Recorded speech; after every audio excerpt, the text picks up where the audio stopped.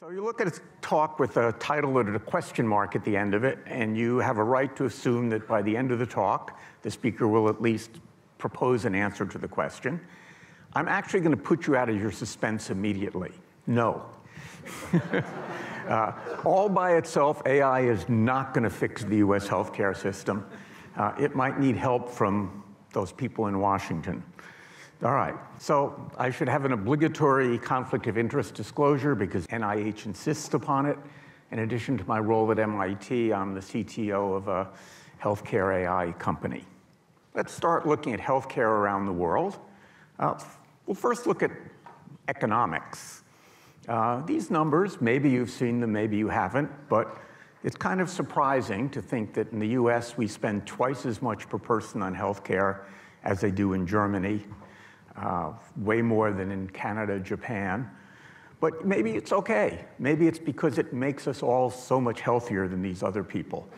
Um, well, apparently not. uh, it does not seem to make us all that much healthier. Uh, in fact, as you can see, uh, we're not doing very well on the world stage. I've only shown you four countries here. I could have shown you another 10 and the trend would be pretty much the same. What's going on here? Is it that we have crummy doctors in this country or maybe venal hospital administrators? Um, no. At its best, medicine in the US is as good as it gets anywhere in the world. The problem is that we have a healthcare system that means many of our citizens and residents don't actually get access to this good care. So, what should a healthcare system do? It should provide access to the right treatment, the right provider, at the right time, at a cost society considers appropriate. Well, what could be easier? Well, actually, almost anything could be easier. But predictive models can make a difference here. They really can help. So, I'm going to only look at one of these problems today because I only have eight minutes. Uh, let's look at finding the pro- right provider. Could be easy. You just open up a local magazine, it tells you who the best doctor is, and you go to him or her. Uh, that would be, I hope, I'm, i hope this doctor's not in the room. I'm not intending to be offensive. but, but, but, but it would be a bad idea to do this. The problem is that the typical approaches to choosing the right provider assume that there is such a thing as the person who is the right provider for everybody. So it's the CMS quality stars, consumer ratings, reputational rankings, volume.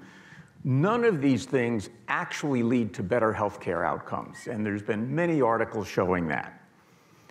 The issue is that different providers do well for different kinds of patients. So, what we really need is not a ranking of providers, but an app that matches patients and providers. Now, I'm sure this seems simple to you, right? How many of you have used one of these apps? Uh, you don't have to raise your hand. How many of you know somebody who's used one of these apps? Probably almost everybody. Unfortunately, these apps are not very good at choosing doctors. So, what we want is the best provider for each patient. So, what we do is we use machine learning to build models of every provider in the country that tells you what kinds of patients that provider does well with.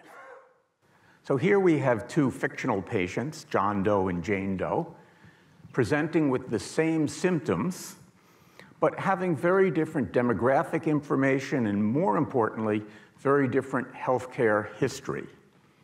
If we run a model to choose providers for those patients, we get very different answers.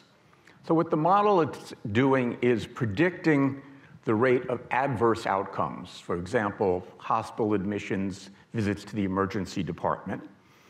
And what you can see the model is doing for these two individuals predicts very different rates of adverse outcomes depending upon which physician they see. And it's a different choice of, quote, best physician for each of these two people. All right, this is just a model. We all know we can build models that make predictions, and the real question comes when you take these predictions in the field, do they actually lead to good outcomes, improvements. Uh, we looked at a couple of examples, actually more than a couple. Let's start with orthopedics. We did a study of 4,000 patients who received hip replacement surgery into Chicago. They were all Medicare patients.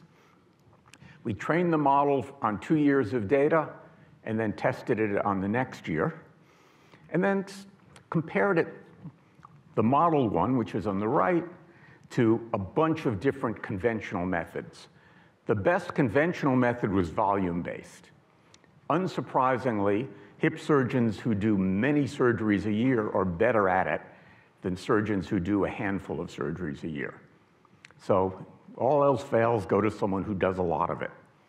And you can see if we look at 90-day admission, there's a 13% improvement if you go to somebody who does a lot of hip surgeries. An 8% improvement in visits to the emergency department in the next 90 days, and a little bit surprisingly, a slight cost increase over 90 days. Maybe they're just more expensive surgeons. Uh, on the other hand, if you look at what happens with the machine learning model, there's a much more dramatic relative improvement. 36% improvement in 90-day admissions, 23% in ED visits, and 12% in total cost of care. Maybe it only makes a difference for hip replacement.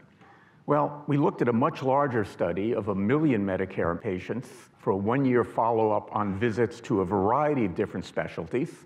And what we're looking at here is the reduction in either emergency department visits or hospitalizations per 100 member years. These are members of Medicare. So you can see for cardiac surgery, going to the right surgeon roughly results in one fewer trip to the hospital per year, which is a huge difference. Everything is pretty much an improvement except ENT, and that's flat. So indeed, choosing the right doctor makes an enormous difference. To wrap up, healthcare and medicine are not the same thing. Healthcare should deliver high quality care to the population at a cost that society can sustain but even though we're trying to deliver it to the population, we have to make the decisions not based on averages, but on individuals. And to do that at scale, we really need to deploy AI-based models. Thank you.